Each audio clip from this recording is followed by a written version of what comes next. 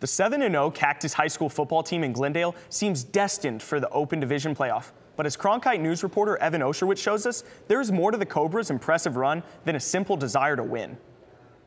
Glendale Cactus is one of the best teams in 4A, but the Cobras are playing for more than just preserving their undefeated record. JV linebacker Jacob Duran suffered a brain bleed in a game against Sunrise Mountain, and the team is looking to honor him with a second straight section title.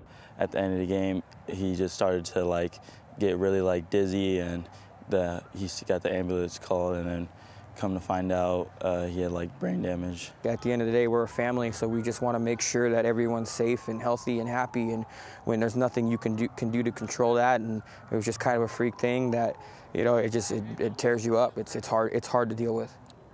Duran is now out of the hospital, but his teammates continue to provide assistance to his grandmother and six siblings while he recovers from his injury. We made like a link for him, uh, donate money, donate food. Uh, the grandma was giving us updates throughout the whole thing. We made him posters. We took videos after our game for him. We did all that. Duran's long road to recovery is just beginning, but his teammates and coaches will be with him at every step. We generally care about him, but we also have a job to do on the football field. But just that bringing the jersey out and we talk about it, just know that we, we, we're always thinking about him and caring about him, um, and that we're trying to show out for him every Friday night. In Glendale, Evan Oscherwitz, Cronkite News.